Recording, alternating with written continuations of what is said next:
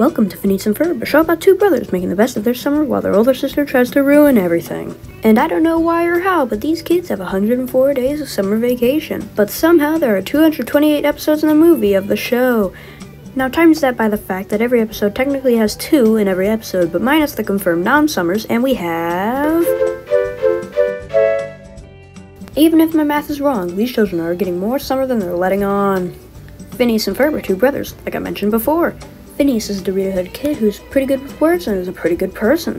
Ferb is a British baseball bat who barely speaks but somehow is good with the ladies. All oh my guys out there know that that's not true.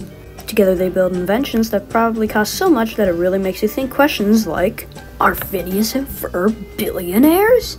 If so, how do they get money? Are Phineas and Ferb so smart that they just created money out of thin air? Because that's apparently possible in this universe, and is actually probably the actual answer. Oh my goodness, I think Phineas and Ferb are doing illegal stuff. But rest assured that Candace is here to not answer those questions, cause we're moving on. So stop it. Use your imagination once in a while, theorists.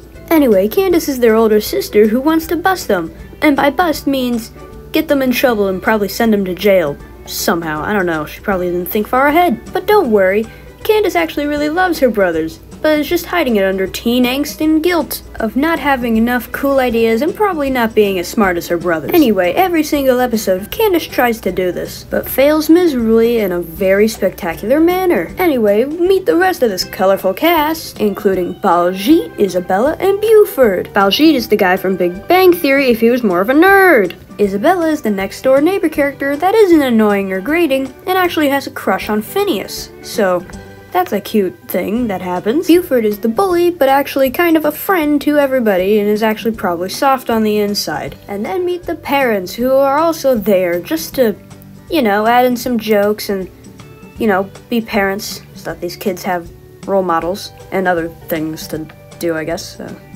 Yeah. Also, guess what? These children have a pet platypus named Perry. Perry the platypus. uh, why is that funny?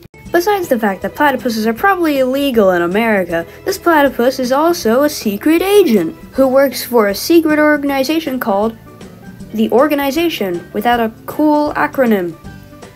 I'm not making this stuff up. Anyway, there are other animal agents, led by Mr. Mustache himself, Major Monogram. You see, every agent needs to fight a secret supervillain across Danville and the rest of the world, I think. And Agent P, or Agent Perry, has to fight the evil Dr. Doofenshmirtz. Dr. Doofenshmirtz is probably the best character in this TV show, besides Perry. But the thing is, he's not really a supervillain. Or at least, he calls himself a supervillain, but is so incompetent that it's actually laughable. He likes to create inators, or machines, and at the end of every episode, Agent P defeats Dr. Doofenshmirtz, and his inator is always destroyed, which then takes out Phineas and Ferb's inventions right before Candace brings her mom to it just to see that nothing is there. This happens every single episode, mind you and every single time it is new and creative. And while the show is also very funny and very formulaic, but also very creative, this show has a lot of songs. And just about